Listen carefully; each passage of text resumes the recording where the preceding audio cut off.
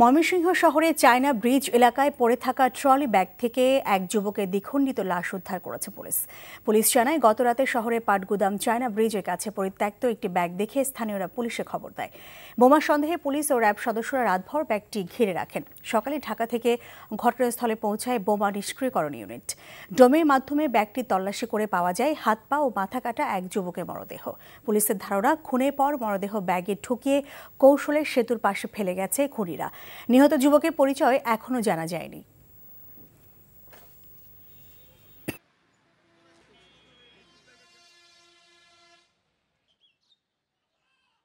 তবে যেই করুক না কেন প্রত্যেকটা অপরাধেরই কিন্তু কিছু কিছু একটা রেখে যায়। আমরা আহ, বিস্তারিত আহ, ভাবে আমাদের আইনগত যে ব্যবস্থাগুলো নেওয়া দরকার সবগুলো গ্রহণ করব।